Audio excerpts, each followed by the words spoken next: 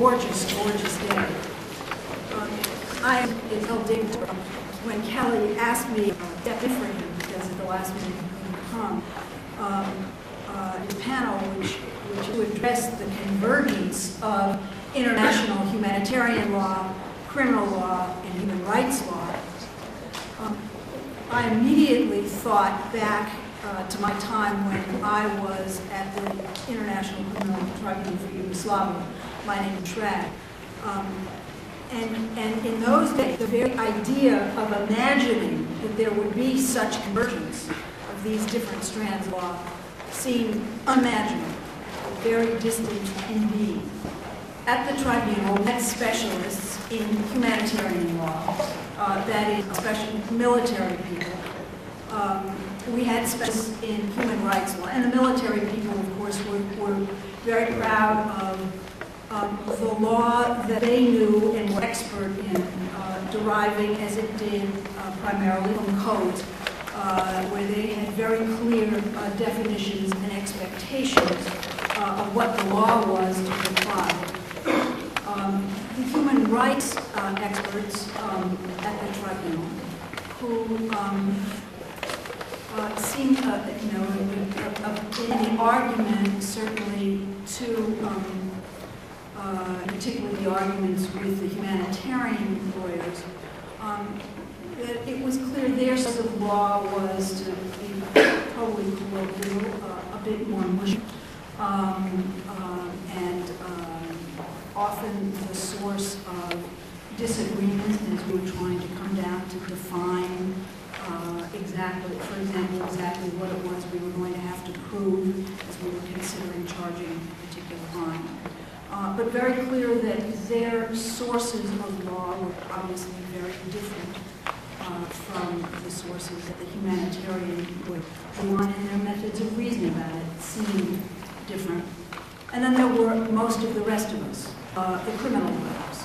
Uh, most of them uh, not international criminal lawyers, because that wasn't so clear what that meant. Uh, what we were were criminal practitioners uh, from various uh, jurisdictions. Uh, to tell you that we had to learn to talk to each other and to understand each other's legal reasoning uh, is obvious. Um, uh, we did learn to talk to each other, um, uh, but of course you, you, didn't come here on this gorgeous afternoon to hear me talk about the stories from the Yugoslav Tribunal, much as I love to tell them.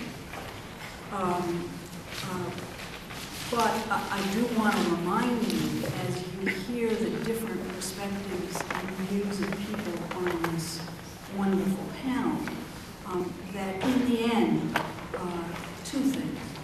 Uh, questions of convergence of these different traditional bodies of law, in the end, have to come down to practical application in any of the different uh, kinds of fora that we've been talking about through Um, practitioners have to apply this law.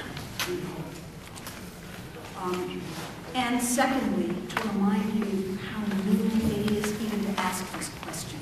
Is there a convergence among these traditionally very separate bodies of law? Um, the panel is, is, as I said, extraordinary. We'll begin with our beloved Ben Ferencz, who, is, as I'm sure all of you know, is a former prosecutor at Nuremberg and a tireless advocate for international criminal justice. Uh, we have Michael Scharf, who's a professor at the New England School of Law, uh, who was formerly uh, uh, at the United States Department of State, uh, and he has written extensively about the ad hoc tribunals, about the ICC, and about related issues. Um, uh, we have uh, Dinah PoKempner, who is the extraordinarily uh, articulate advocate for human rights. She is Assistant Deputy General Counsel at Human Rights Watch. Um, and we have Peggy Hicks, who's from the International Human Rights Law Group, uh, with extensive experience in, in the field and experience with exactly these issues. Um, and Diane Orentlicher, who's a professor at, uh, of law at American University, uh, who has also written extensively about international criminal justice issues. So you have a treat in store for you, and let's begin with Ben Ferencz. Uh, thank you very much, Minna. Uh, as you already noticed, I'm quite an expert at dismembering furniture. And uh, the reason I've done that is I hope that I can see the people that I'm speaking to, because you can't see me, but if I've been behind that podium, you would have only heard my voice. Anyway, um, I'm rather a wild card in this and other audiences. My instructions are, looking at the program, to deal with the international law in the 21st century, United Nations and other international entities. That is the next century. Now, I must admit I'm better off at predicting the past than the future, even though it looks like I've been here for the entire century. Uh, the second part of the discussion here deals with the convergence and overlap of international humanitarian laws that has been explained to you by Schrag. Uh, international humanitarian law, international criminal law, international human rights law. Um, that all sounds very profound, very confusing. And I'm even more confused by the fact that I have these three charming ladies who have suddenly appeared on the panel. Uh, I'm delighted that they're here. Uh, these were already scheduled. At least uh, uh, Michael Scharf was not. You've heard him here in some of the other panels. So you're, all of us are in for a surprise because we have a level playing field. You have no idea what I'm going to talk about, neither do I. but uh, judging by what I see here, whatever it is, I've got to cut it short because uh, Kelly Askin told me to go half an hour to fill in the time that some of the people didn't show up, but she has so many good friends here that they all jumped in. Anyway, what I'll try to do, in line with what uh, Minna Schrag has suggested, is to give you an overview of the past century, because past is prologue, and see what lessons it gives us. And if I deal with the topics that have been listed in the program, uh, let me take three foundation stones for our approach to human rights and the convergence of principles. Let's begin first with the United Nations, the United Nations Charter. Go on with that with the next foundation stone, put down at about the same time, the Nuremberg tribunals, and then we can deal with the uh, International Declaration Universal Declaration of Human Rights. And as we look at those, let us see what were the goals, what were the aspirations behind these three big movements in the last century. To what extent have those goals been realized? To what extent have they not been realized? What can we do? What is required in order to achieve those goals? And what you can do to move in the directions which I hope you want to move in, and that is toward the convergence of all of the human rights into one regime. Here we also have the very interesting acoustics that you may have difficulty hearing me, but I hear myself twice. However, uh, I hope this will be a little better for you, and uh, I have my coach in the back, my wife who's sitting in the back row there, and she says, now this is okay. So uh, let's uh, begin with the United Nations or what prompted it. All of these movements are an outgrowth of war. The first human rights discussions took place, go back to Solferino, the International Red Cross at that time, the Red Cross began to talk about rules. And in the American Civil War, Abe Lincoln called upon Francis Lieber, a Prussian army officer who happened to be teaching at Columbia University. And they drew up the code which the United States Army still follows for the governance of the behavior of armies in the field to try to create certain humanitarian bases for the behavior of people when they're busy trying to kill each other. And the big conference, of course, was in The Hague in 1899. And uh, at that time, they called it the first peace conference. Well, like most diplomatic conferences, it was rather a misnomer. uh, diplomats from, I think it was 38 self-styled civilized nations came together in The Hague, and they set the pattern, which is followed to this very day. But what happens when diplomats get together? They make flowery speeches, they print a lot of documents, they circulate everything, they walk around in the woods, and when they get all through, the peace conference, of course, didn't create peace. They were about to go to war. But it did agree upon a number of rules on how to about, go about killing yourself in a more humane way. And some of those rules from the Hague Conventions, 1907, was the next one. They expected one in two years, but they were already at war. And the protocols which have come in the meanwhile, that gives us also a basis of that. My own involvement is I happen to be a soldier in the Second World War, not the First World War. Uh, and uh, after spending three years of my life with General Patton, who also came along, uh, I jumped into the sea at Normandy Beach and fought through every campaign and crossed the Rhine at Remagen and was in the Battle of the Bulge. And uh, as we got to the end, uh, as we entered Germany and began to run into the atrocities, my assignment as an enlisted man, a sergeant of infantry, was to go into the concentration camps and uh, try to seize the criminals or the evidence of the crimes in order that we would be able to have uh, war crimes trials. I won't delay the evening by describing what I have seen. You've all seen the films of the atrocities. They don't begin to convey the horrors of war uh, and what it means. And when that was over, the United Nations was formed as a follow-up of the League of Nations which had failed. And it was again the hope of all the wise men that we would create a society in which all human beings could live in peace and human dignity. That was the goal after the First World War, with only 20 million people killed, dying in the trenches and gas and all the rest of it, uh, the League of Nations came together. It was really the first international peace effort. And they drew up the covenant of the League. In case you don't know who I am, I'm. Uh, the covenant of the League had some very interesting provisions. It called for disarmament. It called for sanctions against the aggressor in order to put an end to war in future. The idea was a simple one. Some country commits aggression against the League. They will all cease all connections with them, all economic trade, military communications, everything that would bring the aggressor down. That was the idea.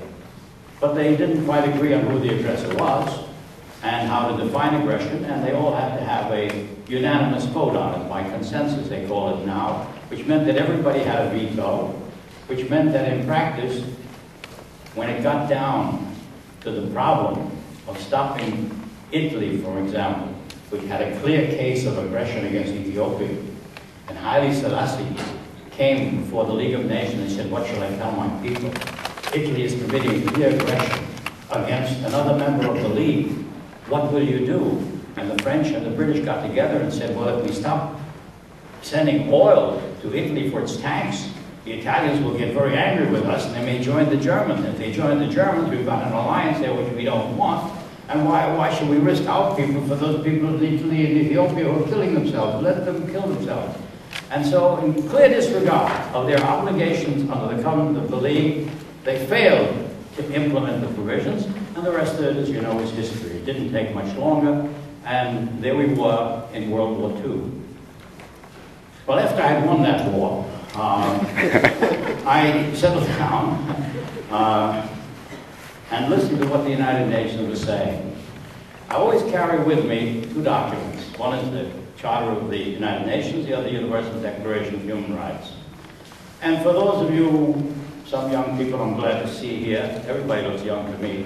Um, I want to remind you, it says, we the peoples, in order to save succeeding generations from the scourge of war, and it goes on and it outlines all of these beautiful principles. And a lot of them are inconsistent.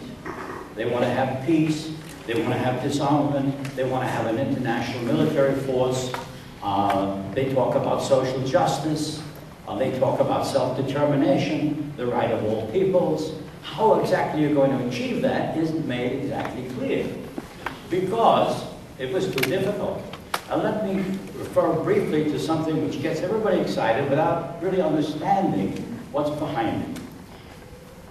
When they came to set up this New World Organization, theoretically designed, as far as it could go, to maintain the peace, they came out with a document which contained noble phrases, many contradictory, inconsistent with each other, and an organization which had no independent financing authority, it had no military force, it had no legislative power, it was totally dependent upon support from its members.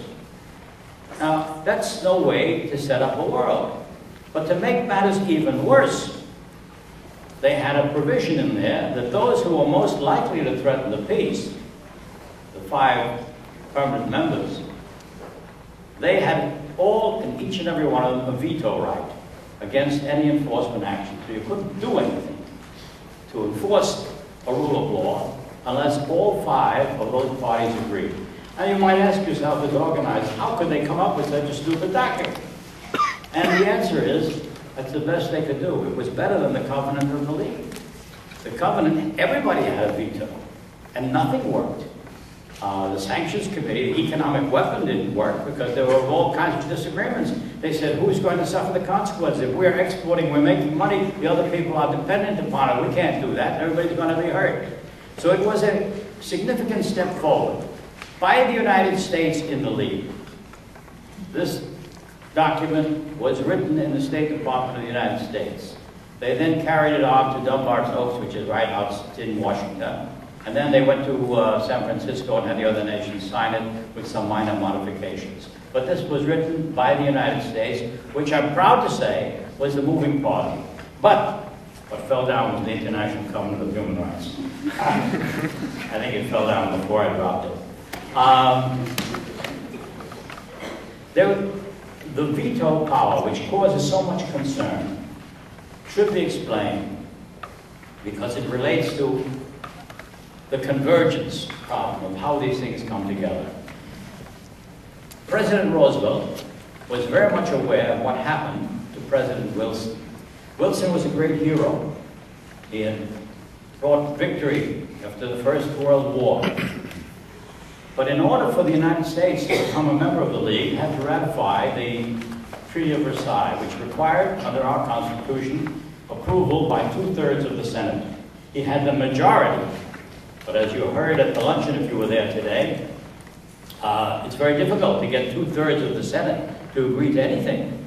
And they sure were not going to agree to a new international organization which is going to have the power to send American boys, and I was one of the boys, back to war without the consent of the United States. The Russians couldn't care less about such an organization, and the British were prepared to shoot these Germans uh, without any trial of any kind. So in order to get the United States on board, it was necessary to write in a veto power to satisfy those in the United States who were then, and similar as there are today, people against any involvement in international affairs uh, by the United States. So it came in as a compromise, as a necessary compromise. And there were some people who met in this room uh, Clark and Sohn, you've read the book. Uh, Mr. Clark, whose picture is somewhere around here, wrote to his friend uh, Roosevelt and he said, look, this is not going to work. You need the consent of all five powers. And you assume they're all going to agree. If they don't agree, this is not going to work. Roosevelt said, I know that. But what are our options? We have no choice. But as a compromise, they said, we'll write a provision and there's going to be a review of the charter no later than five years, ten years, they were going to review it and try to make the adjustment at that time. Of course, there has been no such review.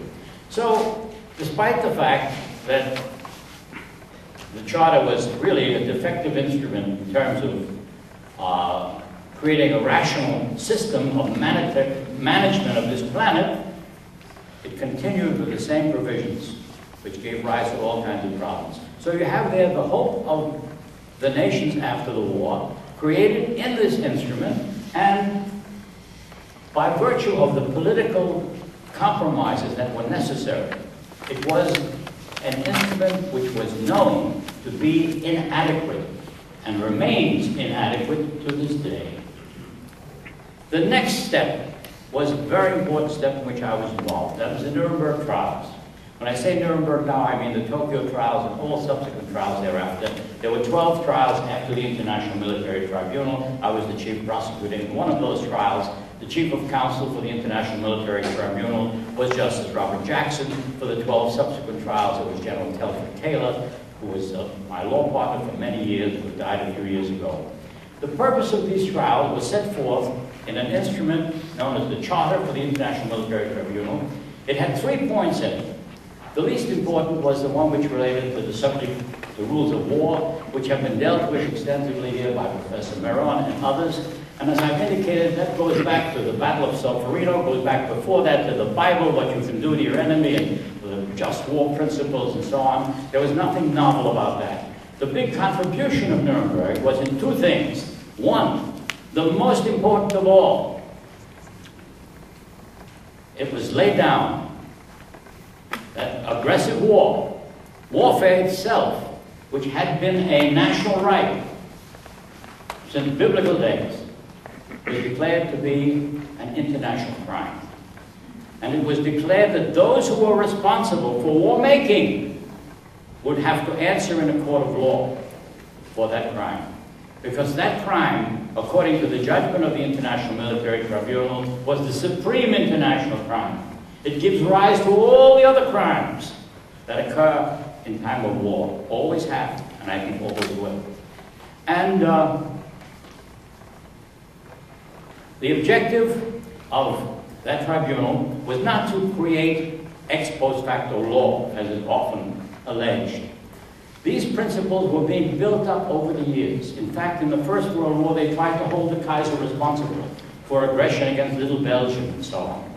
Uh, and they didn't succeed because the jurists who were considering it said, look, uh, this would be ex post facto. No head of state has ever been convicted before of such a crime, uh, and we can't do it. We'll charge him with offenses against international morality and treaties under the Treaty of Versailles, but we can't charge him with aggressive war. And they didn't.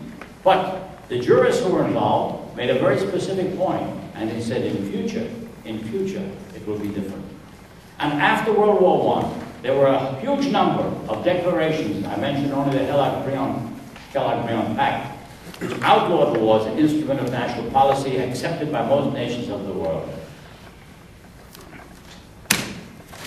Have gotten an order from the right, the right wing. The right wing says I've got five minutes more. Kelly Askin, from whom I took my marching instructions, said I had 30 minutes. So now I'm going to have to reach a compromise. And I will compromise, because that's life. You've got to compromise. The point simply is that it was necessary to reach compromises in the Charter. It was necessary to reach compromises at Nuremberg. We said aggressive war was a crime. We enunciated another doctrine that crimes against humanity would be punishable offenses.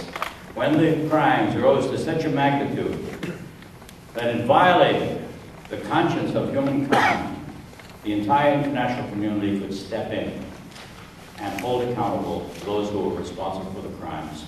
These were great steps forward. And a very important point, which is often forgotten and overlooked, it was made explicitly clear in the judgments and the speeches of the prosecutors in all of the trials that the law we were laying down was to be a law the, for the future which would bind everyone to pass these defendants a poisoned chalice, said Justice Jackson, is to put it to our own lips as well. We were trying to lay down a law which would bind everyone. No one thought that we were going to lay down a law for the rest of the world, but not for us. Let me move on quickly now to what happened. It'll be very quickly because you know what happened. The world that we sought to create of peace, where all human beings could live in peace and dignity as prescribed in the Universal Declaration of Human Rights, which I can't go into anymore, uh, didn't materialize. On the contrary, the Cold War soon paralyzed action by the United Nations, and uh, nations declared their adherence to these documents. In principle, they agreed. In practice, they disregarded them. And the world went back to war and killing as usual, and worse than as usual, because they invented all kinds of new weapons. And whereas dum-dum bullets, soft lead bullets which make a big hole in your body if they hit a bone, was outlawed as illegal after the First World War and remains outlawed today as a war crime, nuclear weapons are not. That is crazy. That is crazy. The emperor is not only stark naked, he's stark raving mad. That's the kind of a world they have given you. Why did that happen? Because people are unwilling to change their way of thinking. They cling to their old hatreds, would rather give up their life than their hatreds. They cling to old dogmas. What does it take to make a change? You have to change their way of thinking on very fundamental things. You have to create new institutions. We are in the process of creating them. There are human rights courts in Strasbourg, and we're talking about an international criminal court now. And it's a wonderful thing, because we're beginning to think rationally of this. But those who have the power don't want to give it up. And those who don't have the power don't have the power to bring about a change. So they keep pushing, and they keep pushing, and slowly, slowly, slowly, we make progress. And the progress has been fantastic, if you want to consider it in a broader horizon and a time perspective. I look at it, I've been doing this now, I'm over 80 years of age. My wife and I combined, we're sitting there, we are 160, but that's a combination, I don't mention that. Uh, and uh, I've seen these changes. The world is beginning to awaken to a human conscience. We are beginning to have the feeling that this is really one planet, and it has got to be managed in a rational way. Global problems require global solutions, and today everything is global. You get up in the morning, I go to my computer, the first thing, I got 50 emails waiting for me. I can send out 100 messages immediately all over the world. I push the button, I see what's television, what's happening in China. Uh, this world has changed. It's a very radical change. And it's wonderful, very exciting. I wish I had, I was uh, 50 years younger, maybe 70 years younger.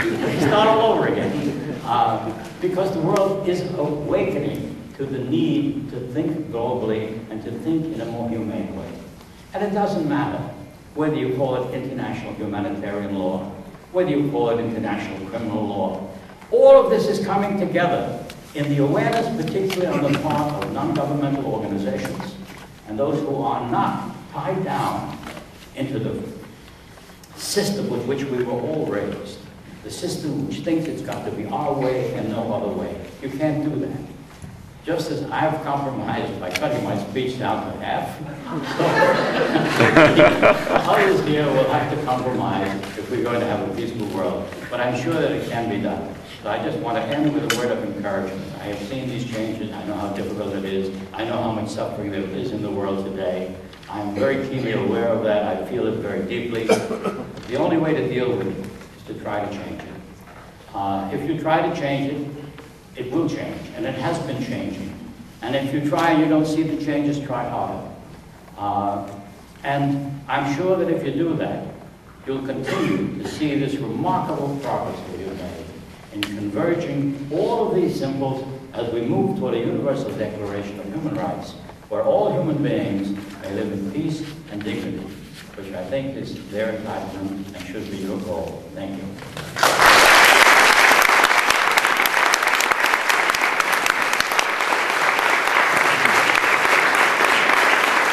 following the hardest act in our profession to follow. Um, and I should tell you that just before we came in, Ben, who I've known for years and years, confided to me for the first time ever that he was a child actor. And now I know where all this dramatic ability comes from. Um, he also suggested that law professors in general need more of that spark, especially at the end of the day, to keep people awake. So I'm going to stand up to keep myself awake and hope to keep you awake as well. And I'm going to continue the discussion of the convergence of international humanitarian law and international criminal law and human rights law. I should mention that when Kelly asked me to step in at the last minute, I called home because I had promised my son, I hadn't seen for a couple years, or a couple days, he's five years old. I, I promised him I'd make it home before his bedtime. He said, Daddy, don't miss your flight. So I said, Kelly, you think I can go early on and then sneak out? She said, okay. So don't think I'm being rude to the other panelists, but after my remarks, or even in the middle of them, I may sneak out. Um, the theme of my remarks is going to be a little bit different, and I'm going to try to be a bit provocative, and unfortunately I won't be here to hear your responses to my provocation, so maybe that's a good thing. Um, but it's that while a little convergence in this area is a good thing, too much convergence can be a little dangerous. And I should begin by mentioning that I teach separate courses in all three areas of the law that we're talking about here. The laws of war, international criminal law, and human rights law. And every year there's more overlap in my courses, in the content, in my syllabuses. And so I'm endeavoring to keep each course unique, but it's impossible to do.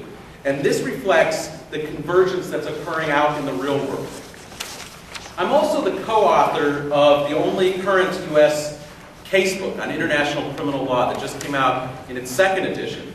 And what we've done is added more and more materials to our international criminal law book on the laws of war and on human rights law because these are now being considered as part and parcel of international criminal law.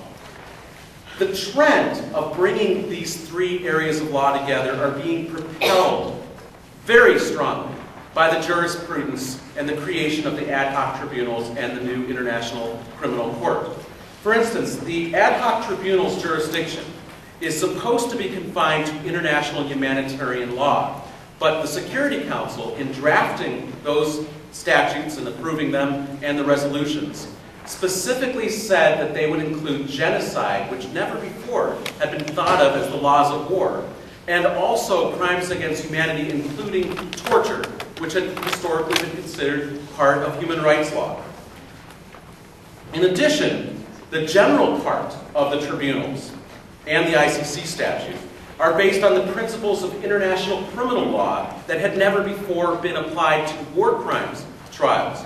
Nuremberg, with all the greatness that it served as the precedent, was an imperfect experiment, which has now been closer to perfected by these new tribunals by including international human rights law and international criminal law principles. For instance, they spell out the theories of accomplice liability, the defenses that are allowed, such as duress, necessity, immaturity, insanity, and intoxication, if not in the statutes, at least in the rules of procedure. And the rights of the defense that are codified in the ad hoc tribunals, statutes, and rules are based on the principles of human rights law that come from Article 14 of the International Covenant on Civil and Political Rights. Such rights as to be informed of the charges, to counsel to a speedy trial against self-incrimination, to be present at your trial, to cross-examine your accusers, and against double jeopardy were not recognized at Nuremberg. Those are human rights rights that are now part of the war crimes tribunals. And the criticism of the ad hoc tribunals has been great when they have departed from human rights standards. For instance, when Judge McDonald justified the use of anonymous witnesses in the Tadic case, there was an outcry. Well, she said, first of all, Nuremberg didn't use, uh, Nuremberg didn't have the right of confrontation. You were allowed to have anonymous witnesses and ex parte affidavits. She pointed out that war crimes tribunals historically were different from other trials. And the international community said, no, we believe that the human rights standards of today need to be applied even to war crimes tribunals. You see the convergence. Now, to my theme, the possibility that there is too much convergence. And I'm going to use just one example, but there's probably many others. And that is the example of applying war crimes law and principles to terrorism. This principle, or this proposal, this concept, is currently being debated at the United Nations. Because for years, the UN has been considering creating a generic definition of terrorism to differentiate the terrorist from the freedom fighter. And the proposal that is now on the table is that we should define terrorism as, quote, the peacetime equivalent of war crimes. The benefits of this proposal is that you would borrow the detailed definitions and extensive jurisprudence of war crimes and apply them to terrorism law, which is much less developed. You would also fill gaps in the current anti-terrorism treaty regime.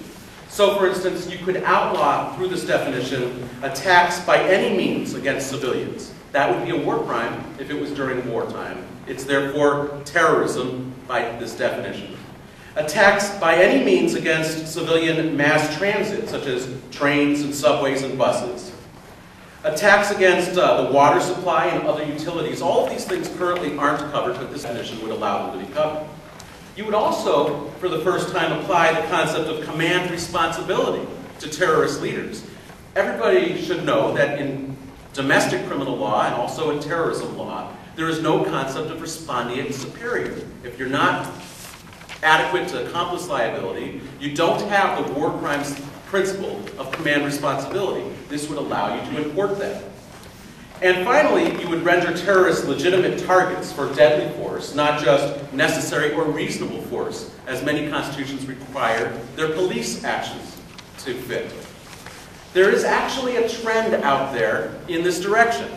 The Inter-American Commission on Human Rights in a 1997 Argentina case, uh, since I just jotted down these notes without my materials the last minute, I can't remember the exact site, but you can look it up at the date.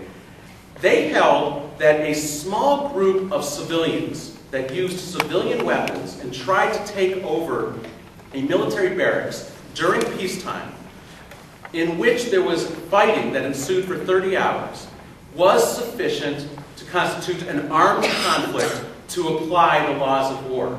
Now that is a very much lowering of the threshold requirement of armed conflicts in order to apply the laws of war to what is essentially a terrorist incident. And that's the trend you're seeing, at least in the Inter-American Commission context. Also in the United States, the Second Circuit Court of Appeals, about 10 years ago in the Atta case, said that the political offense exception to extradition should not apply to some terrorists who have committed the equivalent of war crimes by targeting civilians. They specifically cited in that opinion the Geneva Conventions by analogy. And finally, the D.C. Circuit Court of Appeals, also about 10 years ago in the Yunis case, said that Fawaz Yunis, who had been part of a terrorist organization, could potentially use the obedience to orders defense if he could prove that he was part of a hierarchy, that he carried arms and that this group carried arms openly, and that they generally complied with the laws of war. In other words, some terrorists, although not Fawaz Yunis in that case, would then be allowed to use the obedience to orders defense. That sort of previews, previews the problems with the convergence. If you're going to apply the definitions and obligations of war crimes to the peacetime scenario of terrorism, then it just makes common sense that you couldn't bifurcate it. You would have to also apply the rights that go along with the laws of war. So, for instance, in the laws of war, killing a combatant is the equivalent of justified homicide. It's not murder. Therefore, when the terrorist targets government personnel as opposed to innocent civilians, they would become legitimate targets under this definition. Also under the laws of war, you have the collateral damage doctrine. This means that civilian deaths that were incidental to attack that was targeted at government personnel or a government facility would not be murder they would be collateral damage, permissible under the laws of war. Further, the taking of combatant prisoners would be a legitimate act as opposed to kidnapping or hostage taking. Also, attacks on government buildings would be legitimate. They wouldn't be criminal. As I previewed, the obedience to orders defense could apply to terrorist organizations as long as they met certain criteria. And terrorists would suddenly be given POW status when they were arrested, and the special rights the POWs get, as opposed to common criminals. While this might be an incentive for terrorists to play by the rules of war, it's also going to make terrorism much more likely to occur.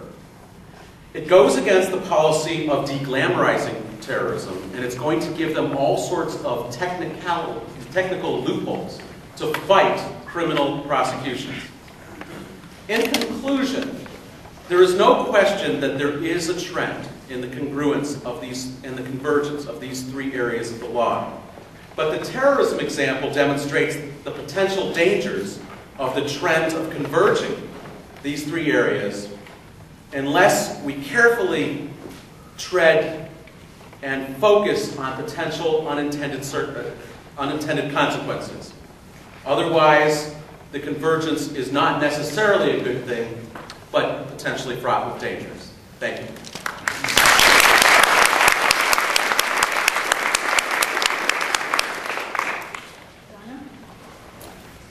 Um, the topic of this last panel, can you hear me? Is this all right? Okay. The topic of this panel is the subject of my most difficult work at Human Rights Watch, where I advise on how the organization will characterize the legal responsibilities of states and also non-state actors that are committing abuses. Uh, as the mandate of our organization encompasses neither crime prevention nor advocacy for peace, I'm generally spared the question that Michael just raised about uh, when you characterize a violation of human rights or humanitarian law as terrorism or aggression. But the gray area between humanitarian law and human rights is one we tread regularly. Uh, now that gray area is at the intersection where violence is internal to a state and has some of the hallmarks of armed conflict, such as intensity, scope, or political motivation, uh, but not all of them. There is often a predisposition among non-governmental groups against acknowledging there is a gray area. Uh, the existence of an internal armed conflict does allow one to invoke standards that are applicable to both sides in the conflict, and to address the most serious abuses in terms of war crimes, and generally to impose a legal framework that may be more coherent when the government's civilian authority has collapsed or is eclipsed. In situations that are clearly armed conflict, what we do is we'll analyze what we find under both the laws of war and human rights law, uh, to the extent that each applies. But it's not always clear whether the conditions for armed conflict pertain, and the urge to pigeonhole can also work against our credibility. What I'm basically going to do is give you an anecdote from recent research we've done and uh, maybe give you uh, a few thoughts on some of the themes that speakers have raised so far. We recently sent a team to Israel and the occupied territories to observe and report on the violence there. As of October 4th, uh, these researchers, ready to go on the plane, came to me with doubts as to whether the events were going to be properly described as internal disturbances or armed conflicts. Now, these were doubts that intensified when they were there and they were reporting the deployment of helicopter gunships firing rockets at the headquarters of the Palestinian Authority. By October 12th, both Israeli and Palestinian officials were obliging journalists by hurling accusations that the other side had precipitated a war. I don't think these carried the weight of an official position, but that was certainly the rhetoric that was being used. Nevertheless, the extent to which it could be said that the violence on the Palestinian side was organized and had leadership was unclear for either the purposes of Common Article 3 or the higher Protocol 2 threshold. The riots appeared to our researchers as relatively spontaneous, although they followed some clear patterns, with demonstrations coalescing after each well-publicized funeral of the previous day's victim, and they always occurred at very symbolic locales, so that everyone knew the place to gather. Certainly it was the place everyone had always gathered. Certain hallmarks of organization from the previous Intifada, however, were missing. Uh, for example, there was little participation of women or middle-class Palestinians. Uh, there have been provocateurs and armed individuals within many of the crowds, but I think it would go too far to say that the crowds were controlled by such elements. Forces of the Palestinian Authority have played an equivocal role, often attempting to restrain smaller, smaller gatherings at the beginning of the day, being subjected to intense psychological and physical pressure as the crowds swell, and then ending the day often by joining the riot. Now, characterizing the violence as either internal disturbances or armed conflict had clear pitfalls. It would be clearly presumptive and misread as very political to try to assess a precise moment when borderline between humanitarian law and human rights law had been crossed, particularly if you're trying to do this in real time as events unfold and nations are struggling to salvage the peace process. Concluding that the violence was armed conflict would also shift the focus from victims of unjustified force to the lawful hostilities of opposing combatants. Uh, while human rights standards require that lethal force be used only where necessary to pre prevent an imminent threat to life, The laws of war, as Michael's uh, alluded to, uh, grant the combatant the privilege of shooting opposing combatants on sight. So would it be tenable to characterize every stone-throwing teenager as a combatant? I don't think that the Israeli Defense Forces have taken that line. Uh, it's a, but it's a, a, a very cogent issue. So our approach in this situation was to focus on the areas of rough congruence between the two bodies of law, which are considerable. On the use of force, we focused on collateral casualties to persons who were clearly not posing a genuine threat to Israeli forces or other civilians. Uh, those would be the, the rock-throwing teenagers. Uh, and others, people who are genuine bystanders just caught up. There's a duty of protection towards such persons in both bodies of law. In human rights terms, respect for the right to life and bodily integrity underlies the United Nations basic principles on the use of force and firearms by law enforcement officials. And these would apply also to military personnel acting in policing capacity. Under these principles, resort to firearms may be had only when other means are insufficient to counter an imminent threat of death or serious injury, and shooting to kill only when strictly unavoidable in order to protect life. Uh, and then where it's unavoidable, the officers must exercise restraint in such use and act in proportion to the seriousness of the offense and the legitimate objective to be achieved. Doesn't that sound like humanitarian law? Very close.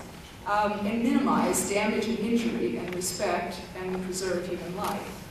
Now, in humanitarian law, as all of you I'm sure are aware, the principle of civilian immunity requires civilians be protected against the danger arising from a military operation, that they not be made the object of direct attack or indiscriminate force, that is a, uh, an attack that would result in excessive harm to civilians in proportion to the direct and concrete military advantage. Uh, to that end, you have to employ all feasible precautions, such as ascertaining whether the object of attack is civilian in nature, degree of incidental harm to civilians in the attack may bring, and giving advance uh, warnings uh, to minimize casualties.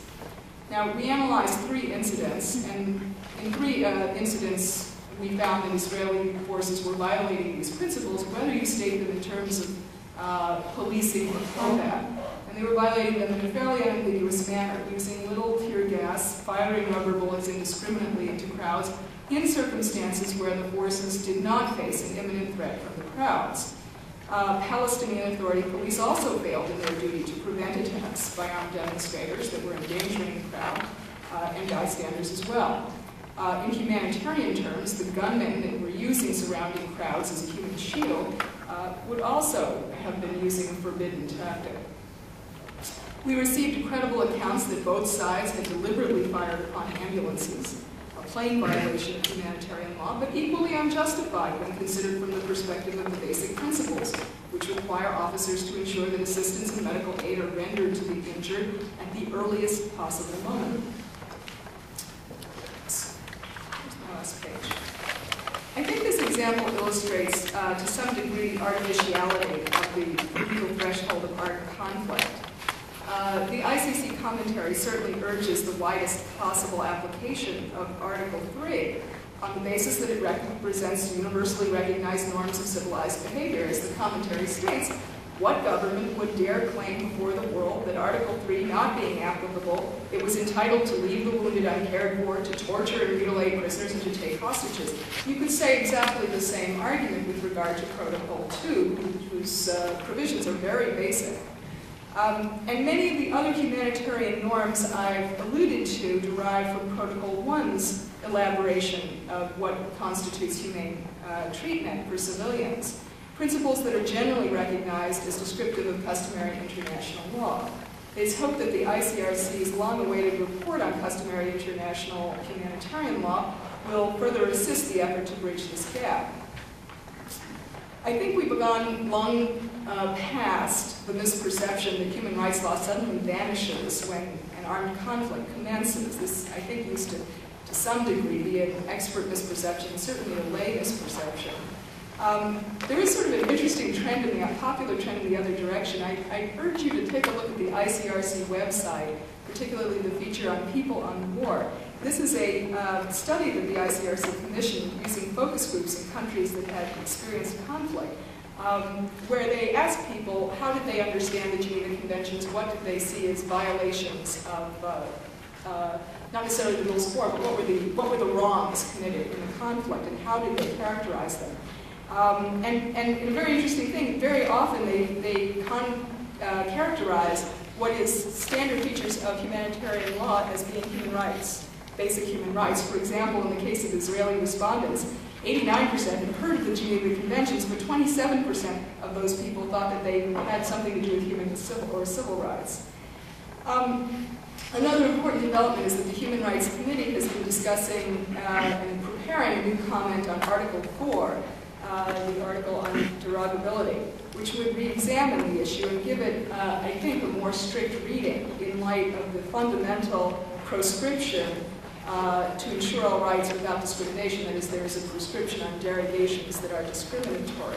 And this would be a very powerful approach, given that the rights uh, are often derogated with respect only to disfavored groups.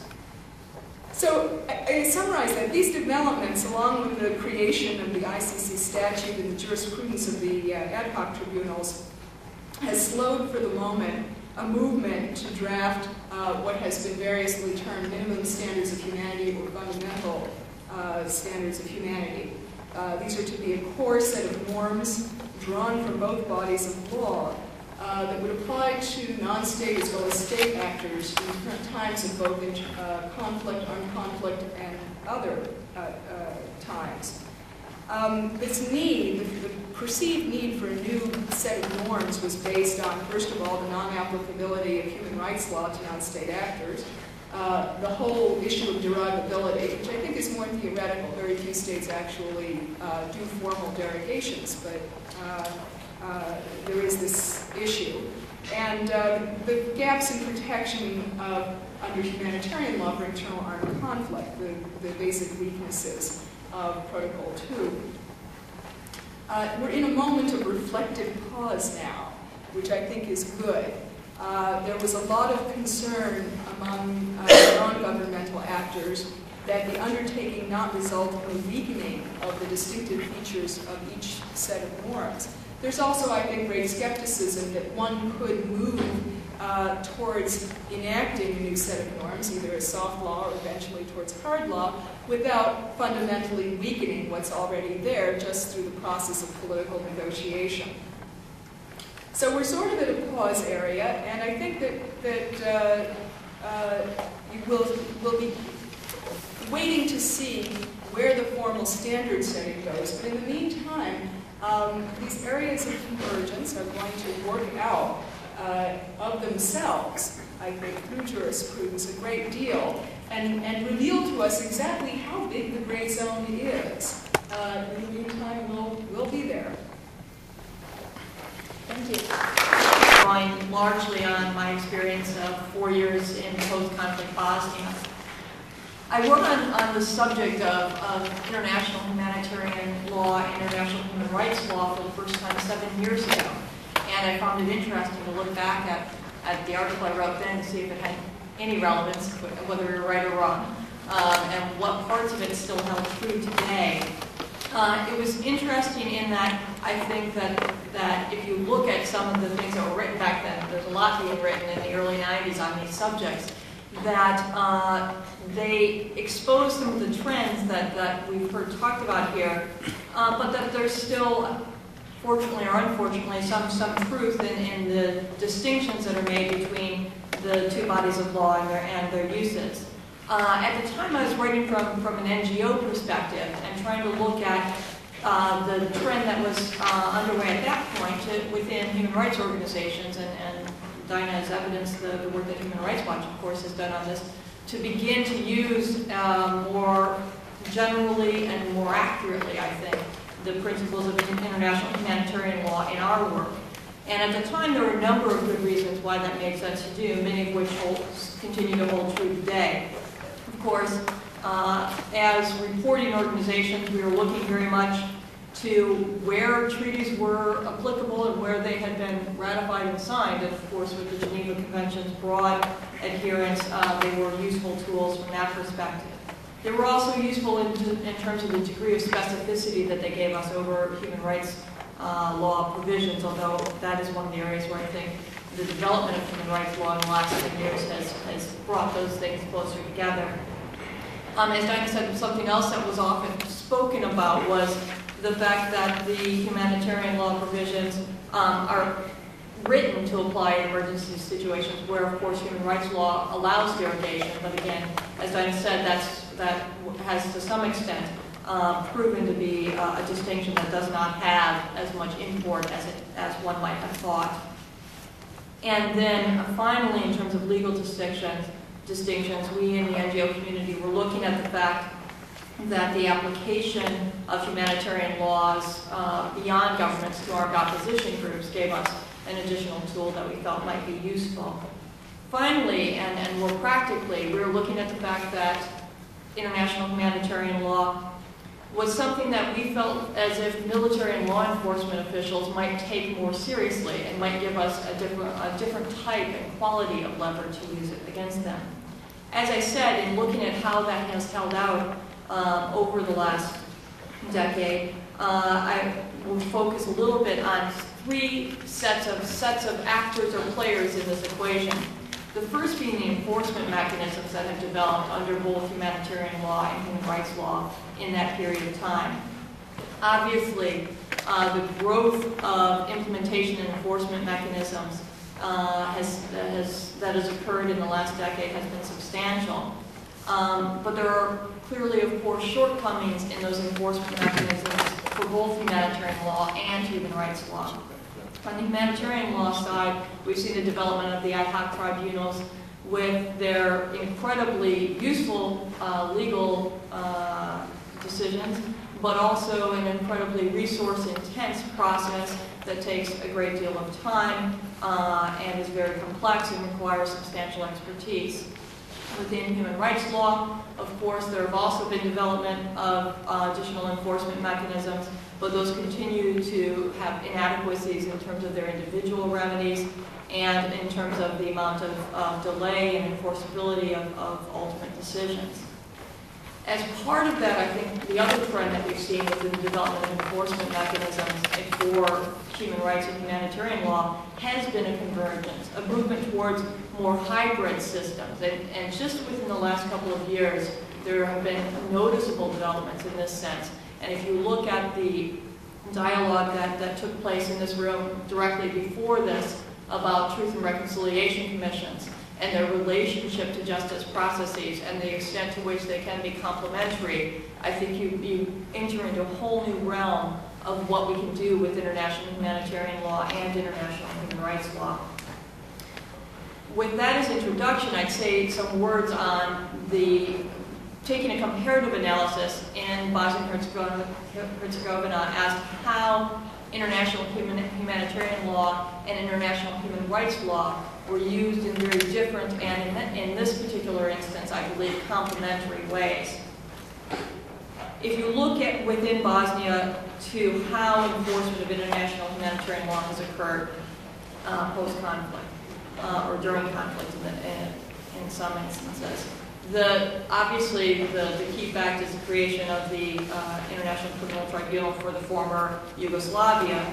Um, its record, I think, without getting into a subject that's been dealt with uh, earlier at, at, this forum, um, is, is a mixed story.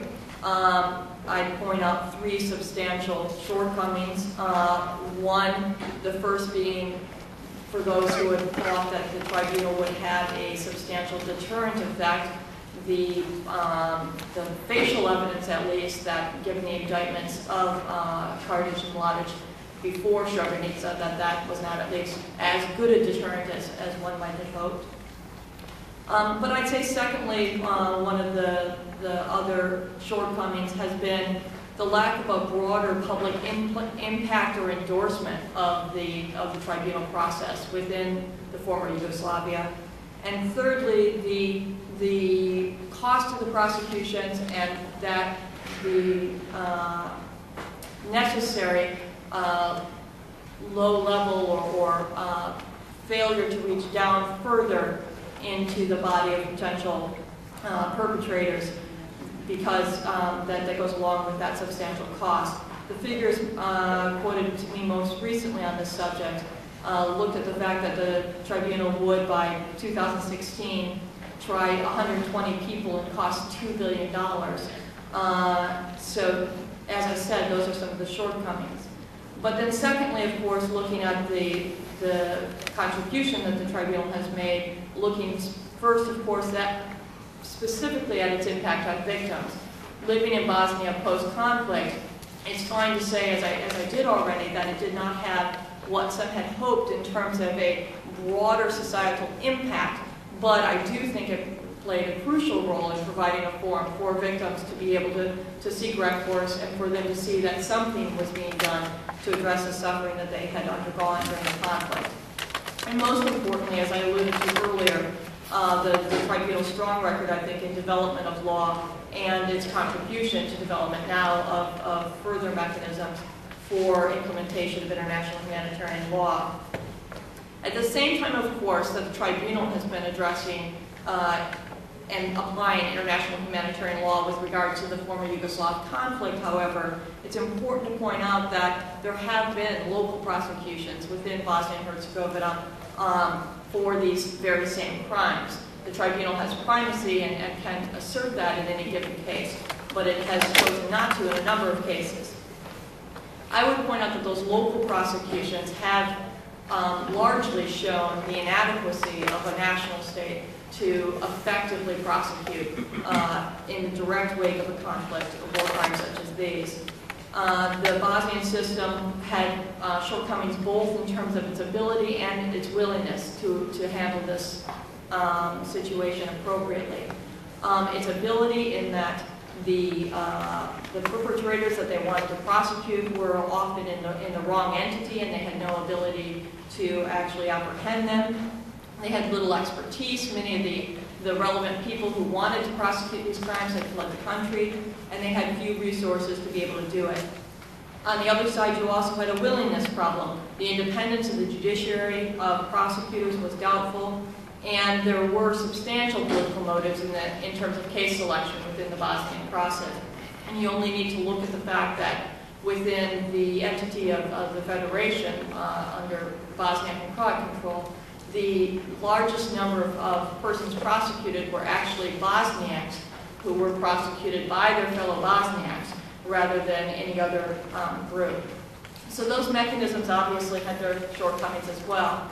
At the same time, there was enforcement of human, rights law occurring in Bosnia, looking in many instances at the exact same set of issues, the post-conflict issues. And in Bosnia, what they did was set up, of course, a separate human rights enforcement system that incorporated uh, the human broad range of human rights standards into Bosnian law, and then created a human rights mechanism of the Human Rights Chamber to try to address those. The, those um, mechanisms encountered substantial problems in that they were slow to move, they were costly, but less costly than prosecutions. They too lacked public support, they were not understood by the population. Uh, these institutions were viewed as international institutions that didn't reach down into the population. And because of that, they have a substantial sustainability problem. It's not clear what will happen with the human rights mechanisms that were set up in Bosnia and whether or not they'll be able to continue post-conflict. But the role I would point out, since the topic here is the convergence of international humanitarian law and human rights law, was very distinct from the humanitarian law mechanisms I just mentioned.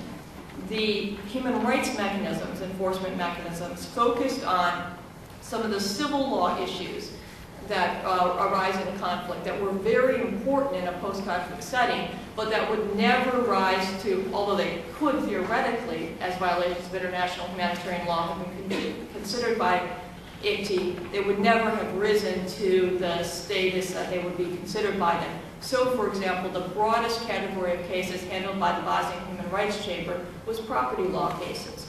Very important, but not necessarily going to, going to uh, be prosecuted by either the local courts or the International Tribunal. In looking at this, I, I wanted to draw two lessons learned in terms of how international humanitarian law and human rights law have interacted in a post-conflict setting. The first is that I think in both instances, uh, both human rights law and humanitarian law mechanisms have found a need to bring themselves closer to the ground. And you see this very much in terms of the international humanitarian law enforcement mechanisms that are being considered for places like Sierra Leone. Um, the idea now in Sierra Leone is that there would be a special court that would have um, a national and an international component, and that that system would, in some respects, be made complementary to a Truth and Reconciliation Commission process.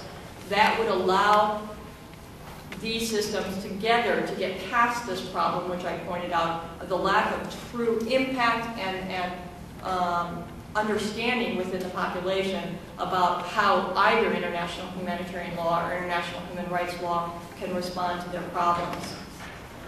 The second lesson learned, I would say, is that um, these, the situation in, in post-conflict Bosnia raises a substantial question about how one deals with the judicial system that is required post-conflict to look both at ongoing human rights violations and the uh, question of how to try cases arising from the conflict. And the fact that those cases would require the development of a substantial set of expertise would take many years to prosecute and may ultimately not mean that the judiciary is properly trained to do the, the ongoing day-to-day tasks that they have in terms of, of continuing to enforce the laws in a, in a, in a post-conflict society as opposed to dealing with the, the crimes of war. So in any setting right now, I think one of the key questions is how do we balance the need to create a judicial system in a post-conflict society that can handle international humanitarian law without devoting so many resources to make it sufficient to do that, that we take away from our ability to create a system that, uh, that is able to protect and promote human rights and, and enforce normative laws in a, in a more substantial way. The two other actors I'd mentioned briefly, and I, I think I'm probably going on uh, a ways too long as well. I wanted to say a word about how NGOs view international humanitarian law and international human rights law now, setting aside the international organization role of, of the ICRC and the UN. I think, um, as, as, as has already been shown, um, international NGOs have learned to use humanitarian law, and you only need to look to the, the substantial work that Human Rights Watch did with regards to the NATO air campaign um, in, in Serbia to, to see that. I don't think that that has actually been brought down to a local level very effectively, and I think that one of the issues that needs to be looked at is the ability of local NGOs to engage effectively on both international humanitarian law issues and human rights issues, and to develop the different set of skills that are necessary to do that uh, Dinah's very erudite analysis shows the, the very difficult and complex legal issues that are involved in trying to apply humanitarian law.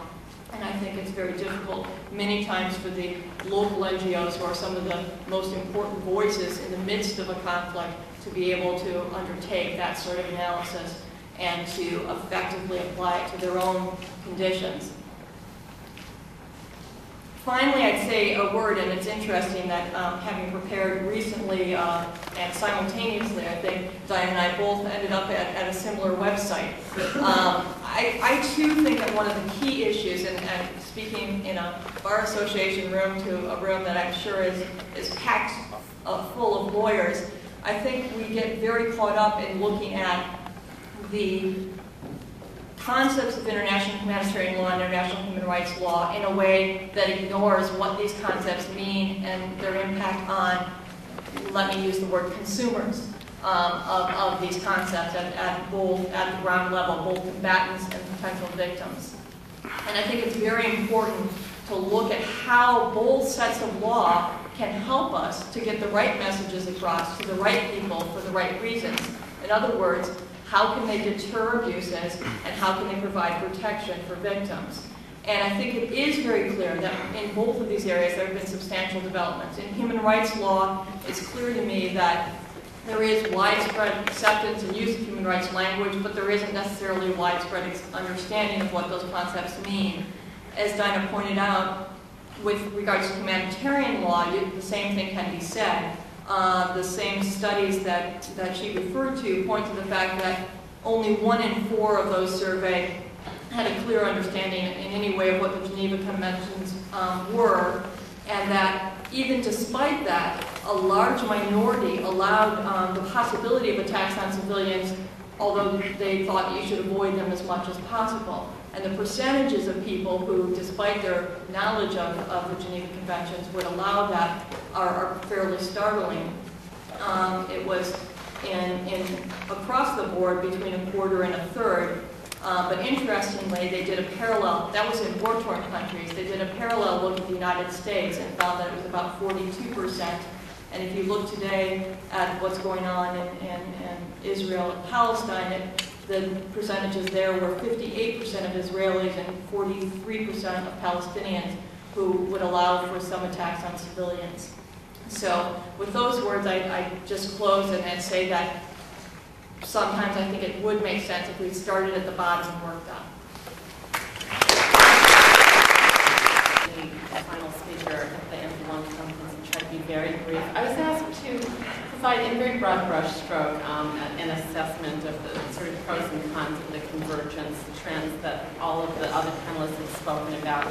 Um, and I will do so, as I said, as briefly as possible. As I thought about this, I realized that um, my sense was that overall the positive trends had to related to the convergence of human rights and humanitarian law, which the last two panelists spoke about in particular. Some of my concerns about the convergence relate to um, the addition of the third area, international criminal law. So let me just quickly um, explain what I mean. In terms of the positive results of convergence, um, the, one, I think one of the most positive uh, results of the convergence that several panelists have spoken about is simply that we are moving to an area of greater consistency, potentially among areas of law that each have been distinct, but which sometimes regulate precisely the same conduct.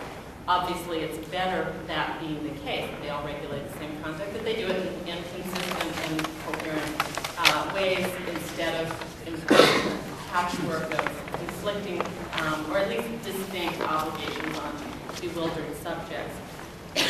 um, my principal concerns, as I said, uh, relate to the development of the increasing criminalization of certain human rights and uh, humanitarian law uh, violations. And um, I, will come back to that, but in, in brief, my concern is that, I have a, a technical problem.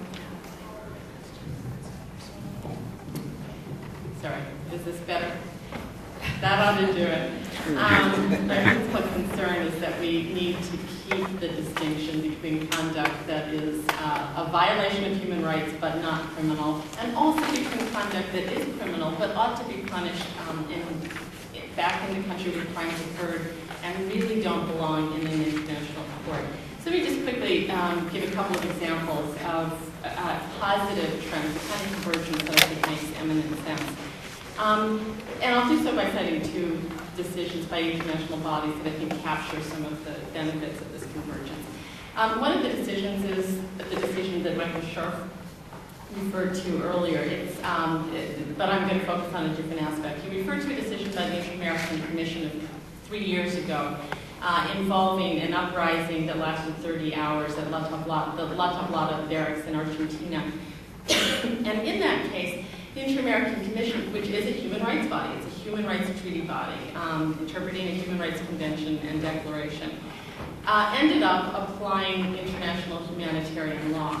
And now how is this possible? How does a human rights body end up interpreting in a very sophisticated way and in a path-breaking way, as Michael indicated, humanitarian law? Well, it gave a number of reasons, and I'll, I'll cite just one um, because I think it's, it's probably the most persuasive reason it gave for how it ended up doing this.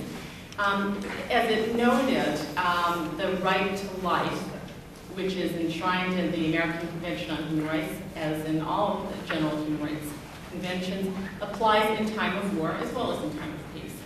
But it's, a, it's framed in very general terms. Now, what do you do when you have a situation where there is an internal armed conflict um, and uh, there's an allegation that the right to life has been violated? Um, the, what the Commission said is, well, we can't reach that determination unless we know whether the people who were killed by military forces were killed legitimately. And here we've got to have recourse to more detailed, more particular provisions of the laws of war. Either they were legitimate combatants or they weren't, etc. And so so what the commission did, and the most compelling reason for getting into this area was that it could not responsibly interpret a human rights convention without recourse to the laws of war. Um, I, I want to say that this area has gotten complicated in subsequent decisions. I won't get into that now, um, but I think that this particular approach remains sound and actually makes eminent good sense.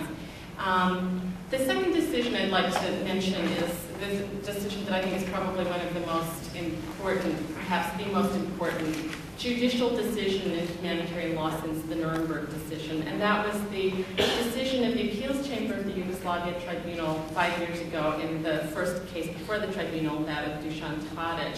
Uh, the decision I'm referring to, and the part of it I'm referring to, um, recognized that some violations of the laws of war that apply in internal armed conflicts are international crimes. Now, before the appeals chamber said so, um, many prominent legal scholars had doubted whether violations of the laws of war that govern solely internal armed conflicts could be international crimes. So this is a very important um, clarification of, of the law. The, what interests me here is the way the appeals chamber explained its reasoning. And, and it traced developments in state practice over the last, well, since the 1930s, basically, and, and talked about how uh, there had been a gradual change from a, an earlier period in international law that extensively regulated wars between states, but largely looked the other way when there was an internal armed conflict. And what, what the appeals chamber reasoned out loud was that uh, this stark dichotomy that long characterized the laws of war reflected the basic orientation of international law more generally, which was, as it put it, uh, a state sovereignty approach. When states uh, go to war with each other, we'll try to enact as many protections as we can of our own soldiers, and we'll make it a reciprocal protection. But if they go to war against their own people, that's their business. Uh, we want them to look the other way when, when we uh, respond to our internal conflicts, and we will look the other way. And what the trial chamber said is, okay, that's the traditional view, but the world has changed enormously, and it's changed in ways um, Ben Ferencz uh, very eloquently chronicled for us. What it said is, principally as a result of, um, this is one of the reasons I view, but it said principally as a result of developments in human rights law uh, in the past half century, this stark dichotomy couldn't persist. It doesn't make sense. International law has moved quite profoundly away from that state sovereignty-oriented approach to what it's called, I think, a human being-oriented approach, something to that effect. And it said, in light of that broader development, of course it was inevitable that international law could no longer turn a blind eye when states committed unspeakable crimes against uh, their own people. Now, I like this opinion because of the way it explains the phenomenon rather than because of the, or as well as because of the result it creates. But it's just really for the first um, reason that I cited here. now, I think those are good examples of why the convergence that has taken place makes sense and when it makes sense for these laws to come together. I'd like now finally to turn to the areas where I have some concerns. And as I intimated earlier, my principal concern uh, relates to adding the, the, third area of law into this equation, which is international criminal law. Um, and in brief, my principal concern relates to how we think about the province of international courts. We're now at a time, living at a time, when the prospect of enforcement by international tribunals is far more viable than ever before. Uh, I mentioned to Michael Scharf a little while ago that the first time I ever met him or Ben Ferencz was on a panel, the three of us were on, I think it could have only been five years ago, about an international criminal court. And I had the sense then that we were, forgive me Ben, but you know, angels dancing on the head of a pin at that point, talking about the creation of an international criminal court. It seems so idealistic and so unrealistic. And in a very short time, um, the statute for a tribunal of that kind has been drafted, adopted overwhelmingly. We have two ad hoc tribunals operating, mixed tribunals in the process of being created for Sierra Leone and Cambodia. It's real. The prospect is real. Um, and in light of that, there is, I think, a risk. And I think the risk is that um, we need to be careful not to blur the distinctions between these different areas of law. And as I suggested earlier, we have to be particularly careful to remember that not all human rights violations are crimes, and not all crimes that happen to be human, human rights abuses ought to be prosecuted before an international court. And some of you are probably saying, well, yeah, duh, obvious, of course. Um, but but I, I guess I, I should say, I think there is often a tendency, uh, now that we're in a new era of enforcement, to push this um, trend as far as possible, to expand the number of uh, violations of humanitarian law and human rights violations that can be criminally prosecuted across borders by international tribunals. Me give just one example of the kind of risk I have in mind, because it's not hypothetical. The laws of war, as some of you know and many of you may not know, cover, provide quite extensive protections in many respects, which is, of course, as it should be. Um, but when those violations are all potentially subject to prosecution before an international tribunal, we have the risk that a court that is set up literally as the court of humanity, speaking on, on behalf of the international may end up using its very precious resources to hear charges on the order of the kind that were pressed against, this is one example, a defendant, Zlatko Aleksovski, who was tried before the Yugoslavia Tribunal.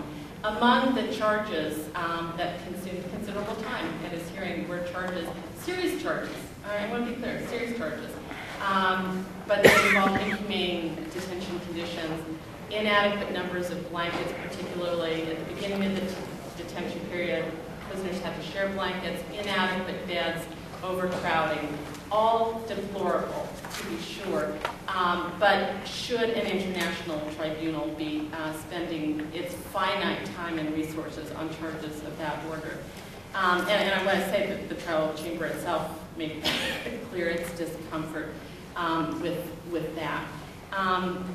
In contrast, and, and I, I'm going to read something that's disturbing, but I think it's important for us to remember what it is, after all, uh, these tribunals are set up for. And I'm going to read um, a few lines from a book review that's going to appear in tomorrow's New York Times. It's a review by Chuck uh, Sudetic, who used to cover the Bosnian conflict for the New York Times, of a couple of books um, on war crimes tribunals. And he says, and this is disturbing, but I think it's important for us to remember what these tribunals are set up to do. He says, um, he, he sets this up and, and, says, here's the dilemma. How do we understand the importance of war crimes tribunals? And then he disturbs us and he says, so imagine, and he's talking about real events, so imagine a gang of soldiers shooting a young woman in the head, nailing her hand and foot to a 4 by 8 and setting her adrift on a river. Picture bullets puncturing the chests of bound prisoners and listen for the gurgle of their last breaths. Smell the corpses of chemical weapons and gas chamber victims. Hear the bleeding of a skinned man whose tongue has been cut out. See the ooze from the bodies of children run over by tanks. Now multiply these horrors a thousandfold and a thousandfold. And alas, we have all lived through a period quite recently where crimes on that order happened over and over again on a mass scale. That is why we need international tribunals, and I think it's terribly important now that we enter into a new period of enforcement that, that we remember how important their job is and, and that we allow them to do their job.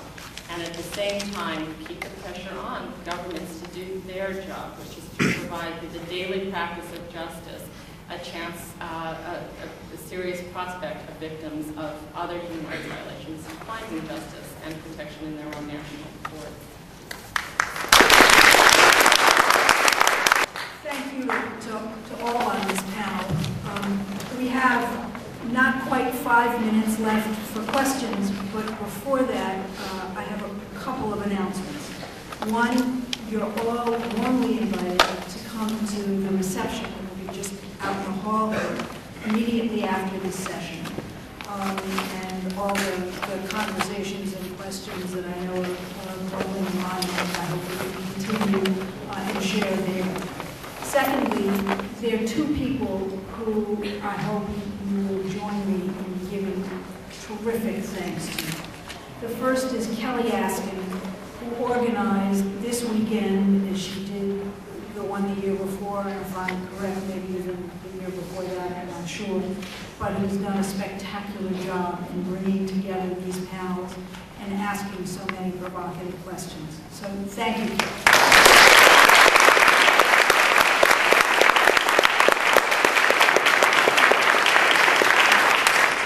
And I went out a minute ago to, to look for Professor Al Rubin, but, but couldn't find him. Um, because I hope even in his absence, you'll thank, you'll join me in thanking him. Uh, this is the end of his uh, 10th year in, in the position of uh, president of the American branch of the ILA uh, in, in sponsoring these weekends. Um, and his you know, graciousness and, and generosity in, in lending his ideas um, and really inspiring this group, I think deserve all of our thanks. So-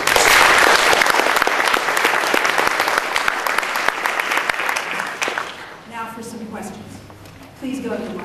Thank you. And, and please identify yourself.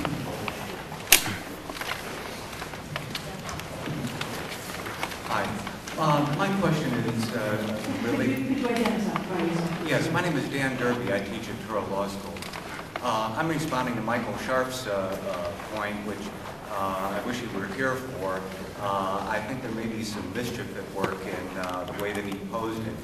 Uh, I think the easiest way to look at it is that he's uh, sort of creating a logical puzzle involving uh, assuming that a, uh, a converse is going to be true. That is, if uh, the international community agrees that terrorist conduct in the nature of war crimes is bad, does that mean that the international community agrees that so long as it doesn't amount to a war crime, it's good? And uh, I don't think that it plays out that way when you think about it. Rather, the idea is that uh, when the conduct is so awful that it is analogous to a war crime, then we should all cooperate in punishing it. Uh, But that then leads to the question of, well, what about the conduct that does not uh, so closely uh, resemble a war crime? And in that, the general rule is that each nation is on its own. Uh, There's no cooperation. Uh, So it helps, I think, to remember, everybody agrees espionage is bad, but no one punishes their own spies. I suppose if I could be allowed the, the, the chair's prerogative of just responding a little bit, it's, it's yes, but the question still remains under what body of law we to punish it? Um, and that's where it, there isn't a lot of devil and a lot of details, uh, which I think is, is, is what Michael's point was, but thank you. I'm Paul Levi. I'd like to particularly address my remarks to uh, Professor Ferencz, but anyone else can do it too. I, I also was in World War II, and I could not believe the 1990s. I just thought that the lessons had been learned, and it just boggled my mind to, to see what was going on. And uh, in, in that sense, I almost think that malpractice law and divorce law should be also have been discussed here. Because divorce law requires you to have a an agreement before you get a separation. And malpractice laws involving, well, almost a collusion of the international community. It almost seems that judges have dirty hands. In the sense of, they attacked the sovereignty of Yugoslavia. It seemed to me unilaterally the sovereignty of Yugoslavia was abolished.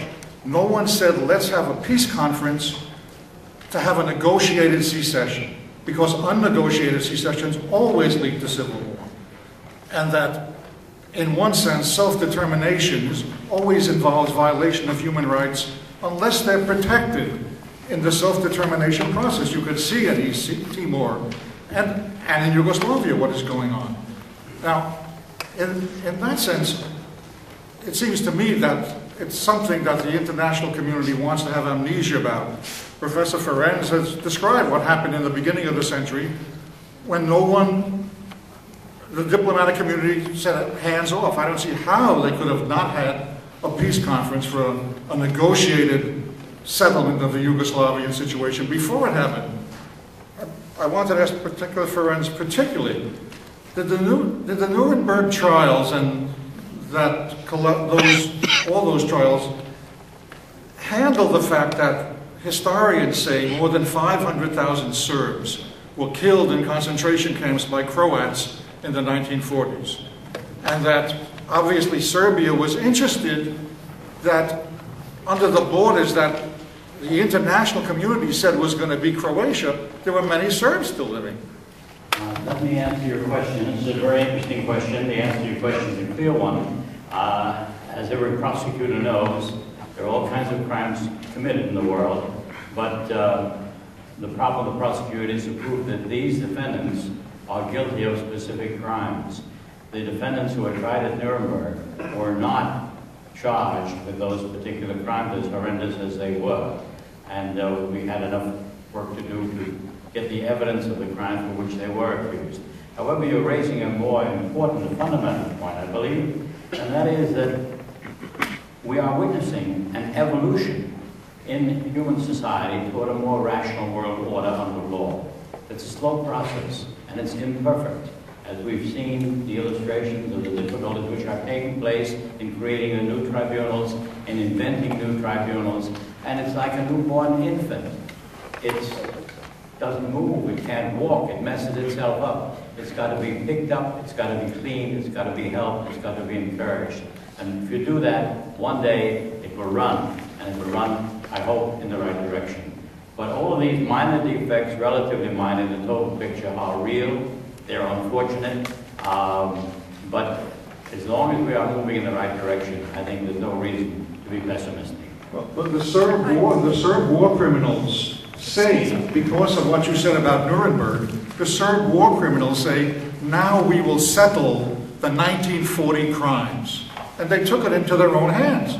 And yet while the world community would not see that this was inevitably going to occur, I can't understand it. The presence of courts may help people from, and deter them from seeking vengeance, because the courts are designed to create a rule of law and justice to correct past uh, excesses. We see that Pinochet was detained in, in England. Whether he would be convicted, that would be difficult under the present circumstances, but it's a demonstration that we are moving in the right direction. So these injustices which exist throughout the world are unfortunate, but uh, we are dealing with them as best we can. Th- Thank you for those questions, sir, because I think they demonstrate exactly the the underlying point of, of why we've been talking about these issues. So thank you all, and let's continue with the reception. It is not. Okay. You're on. There, there was a couple of things I was listening to, and one thing that I noticed is that. Speak up, Ronnie, because I'm not getting you. speaking up. You had not just details, but you had a story that was attached to the details, and it makes history sort of come alive. And I like history. Well, I like history too, even though it's uh, some of the events of history are not exactly happy events. But I appreciate the fact that history is a story. It's a story of human suffering. It's a story of human endeavor, trying to make the world a better place. That's what I'm trying to do too. Okay, and I was looking at the timeline that you were talking about at the beginning, um, well, just sort of starting with the, um, the League of Nations. Yes. and how it started off trying to bring world peace and bring a, um, a solution to problems. And, and I wasn't aware of the, um, until you were talking, I wasn't aware of the internal things that the countries were doing and motives behind it. But they had an idea for peace. Yes, the women particularly uh, were determined to create a more peaceful world. And uh, that was reflected in the attempts to create the League of Nations and then the United Nations and the uh, Universal Declaration of Human Rights, for which uh, Rene Cassin, the principal author, together with Mrs. Roosevelt, won a Nobel Prize. That was seeking to create a world in which all human beings, regardless of their race or color or political persuasion, could live in peace and human dignity. That has been, in fact, the goal of my life and uh, what I'm trying to do. Okay, the other thing too, um, you had ma- mentioned toward the end that this was like a new infant. Yes, it's a new infant because it's complicated to make a, a, a rational legal order which will be acceptable to everyone. Uh, the disparity in the standards of education, for example, well as economic, uh, makes it very difficult for all people to agree. But in fact, it's one small planet. And we've got to learn that we are all members of one human family. We've got to share the resources on this planet in such a way that everyone can live as a decent human being. And that can be done. I'm convinced that it can be done. But it'll take a with our new technology, with the media, particularly with the television and with film, uh, people will recognize that. As they recognize it, they'll be willing to make the changes which are necessary to bring it about. Okay, now, in your lifetime, do you see this coming about? No, in my lifetime, no. Uh, I am over 80 years of age now, and these things don't move that quickly. Uh, the time of one human life is only a blink in the eye of time. One can't expect to see vast changes in the way people think and the way they act and the new institutions that you need in such a short period of time. It may take another 100 years, maybe 200, but it's moving faster now than ever before because of the technology. So I'm hopeful that perhaps in your lifetime, or your children, or your grandchildren, they won't have to endure what I have endured. Okay, so again, what you're saying is that we have to have one world government or one world way of solving problems for there to be peace because of the way everything is now? People don't like the word one world. It frightens them. Uh, I prefer to say that there are certain important problems which are global in nature, and they can only be solved globally. For example, the use of television and radio and airplane landings and things of that kind. If people want to have their own customs and want to cherish their own traditions, that's fine, provided they don't do it at the expense of the lives of other people, which is often the case. People are more willing to give up their lives than their hatreds, and that's unfortunate. So I don't like to talk about one government. There must be one principle, that there is one human family, and they are entitled to the resources on this planet uh, to be shared in some rational and decent way. So, okay, if I'm hearing right, what we need is one universal set of laws that all governments can use. On fundamental principles, yes. Okay. Uh, and we are moving in that direction. Well, and we have them, but we don't have enforcement. We, we need clearer laws. We need courts to determine whether laws are violated. We need a system of effective enforcement. We began with it the United Nations Charter, but that too had its contradictions, and nobody has honored the Charter. Where is the international military force that they called for? Where is the disarmament that it called for?